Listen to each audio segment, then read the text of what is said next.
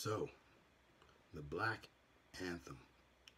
I wonder what's going to uh, curtail in that song when it comes to uh, being it being played in most NFL games. The Black Anthem. I bet they're probably gonna do the Black Anthem regards to uh, the N- certain NBA games. Now, I don't know about NFL, or about NHL, I to say, but the NFL and NBA games, they're probably going to play that song.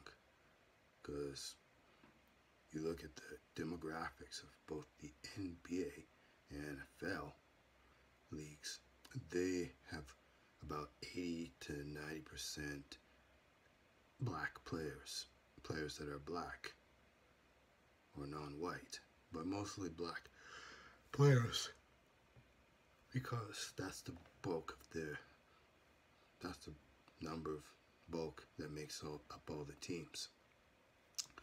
Now, as you may have heard, the this racial incident regard to George Floyd really blew over in the NFL. And I must say that um, I've been saying nothing's going to really change, even though this George Floyd incident has really curtailed, has caused a lot of a big awareness on the racism, race relations that's taking place in the United States. But uh, what makes people think that playing a black anthem in most NFL games is going to change things? I mean, your black people are still going to be killed, and most blacks that are playing the NFL, they're not going to get promoted or even hired for basically higher or managerial positions, or even allowed to even own a team in the NFL.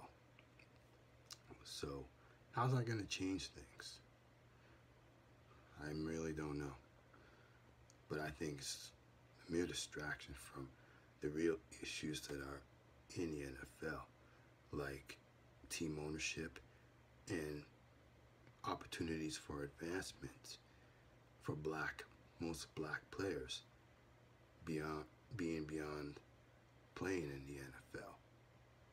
So those are the issues that I've been thinking about during this George Floyd uh, debacle with uh, the Black Anthem being sung. And that's all I have for this sports commentary.